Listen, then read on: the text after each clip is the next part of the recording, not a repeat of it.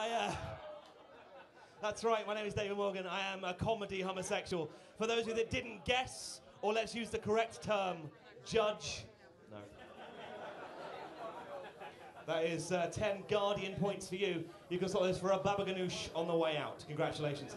When I was growing up, though, Spank, when I was. Um, lazy. When I was. hair gel, it's actually, if you want to know specifically, it is cold air into the root and then hairspray. Hair gel would be too weighty. Now.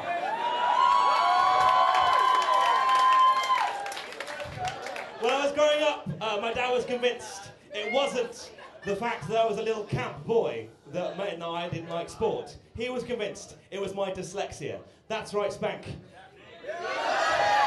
Gay, dyslexic, short-sighted, bullied for fucking years. Uh, so he sent me to, and I promise you this, he sent me to dyslexic football camp. Let me let these words sit with you a longer, Spank.